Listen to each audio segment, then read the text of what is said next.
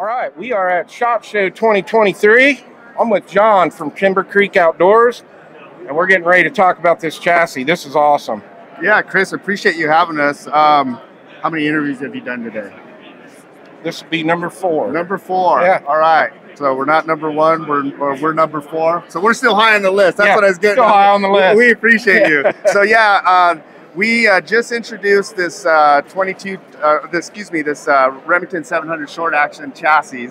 Um, we're pretty. Uh, you know, everybody says they're excited about their product, but for us, it's it's new to us. We're still kind of learning as we go. But you know, one of the main important uh, features is making sure that the geometry is correct for a Remington 700 and certainly all the clones that are out there on the market to be able to drop in and fit. But um, a couple things that you know that we've done with this is first, you know, the weight overall is really nice. You know, so uh, you know a lot of times people are saying, well, you know. We're, we're gonna, you know, stack a bunch of things on top of this gun, so we're not really concerned with weight. But we did a QD uh, mounting plate on the back. So you can kind of see this one that I'm holding in my hand. We have our carbon buffer tube on it. Uh, a lot of guys with 22, or, or excuse me, with the 700 chassis, you know, they're they're building them out super heavy. And we've actually built guns with an action on here that have had in the high six pound range. Right. We got a gun here that's in that high seven pound range, and then we got one up on the tripod in the front that's like in that 15. Right. And so uh, a couple of the guys, you know, from uh, from our company, um, you know, have served in the military and they have experience carrying that type of gun around. And so one of the things that we didn't intentionally design, but by default happened, was the balance point on them on some of those guns with the can um, and how they carry them.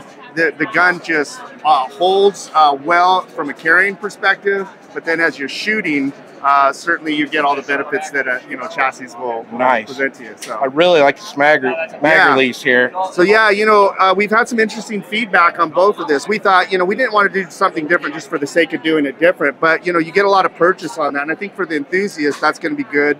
Um, but we had a couple of guys say, you know, I might bump that and drop it down. We're, we're actually going to uh, prototype and have in line uh, a secondary uh, mag drop in here, your traditional in line to the trigger guard. So they can get what yeah, they want. exactly, Nice. exactly. So we're short action. We're running on what kind of mags? Uh, The AI mag. Yep, Yep. AI so mags, yeah, okay. that's that's going to be good. Then our, uh, you know, a lot of things people are familiar with is the M-LOK. You know, um, we we we didn't want to go crazy uh, on you know detail work. However, we knew we are going to offer this in ten different colors. Right. So we wanted to make sure that we had enough detail in there to kind of make it pop. And comparatively to some on the market, they're they're wonderful. But we we're because we're putting ten different colors on here right.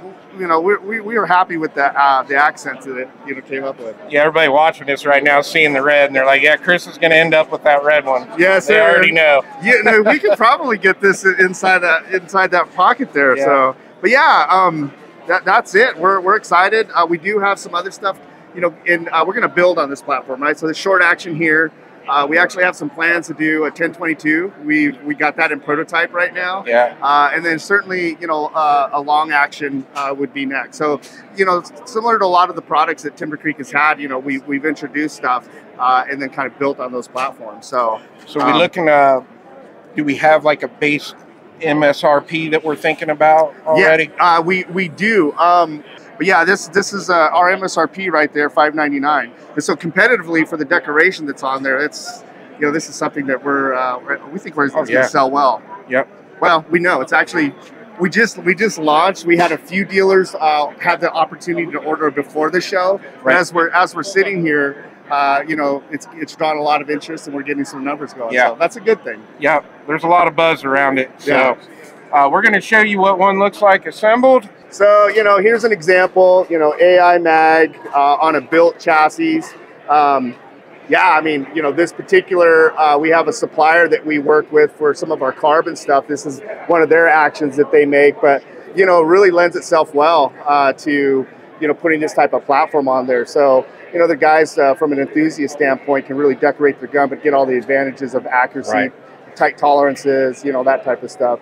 A few questions I've had, ha- you know, pop up here. Some guys are going, well, how, how wide of a barrel can I get in there? Well, you know, typically it's going to be as long as your action that drops in here, it's it's to that or less, you're going to be able to get in here. Right. approximate is like 1.35 inches. Um, but yeah, you know, um, the the details uh, that, that we've done, the through holes, uh, the blind pockets, you know, just different things that, that we've done in this that uh, have really, really allowed us to, you know, hopefully have a lot of people build really solid guns. Gorgeous. Um, but again, one setup. comment I had a couple guys make was, "Oh, it doesn't look like you know, it looks like too short. We're concerned with length of pull on certain stocks. Obviously, this is an adjustable one, Right. But it's a little bit because it's so compact. We actually started off with one that was about two inches longer, and we peeled it back. Uh, you know, we we weren't looking for a very you know an extreme minimalist one. Right. It's something very uh, very compact, but also you could build again those light guns like I shared with you up to a 15 pound rattle can. You know, put a suppressor on the end and the whole the whole nine. Well, John, I really want to thank you for taking the time bet, to uh, Hopefully, we answered all your questions. yeah. If not, you know, people can get on our site and Yeah. uh, check all the detailed information out there. So, So- find you on Instagram. Yep. Uh, you guys have a YouTube channel? Uh, do we have a YouTube channel? It's like, I should know that, but no. Okay. You know what? Let's start one. All right, there we go. So Facebook, obviously, too. Yes. Yep. So Yeah. yeah, IG, guys. IG were real prevalent. Okay, guys, check out Timber Creek Outdoors on Instagram and Facebook, and uh,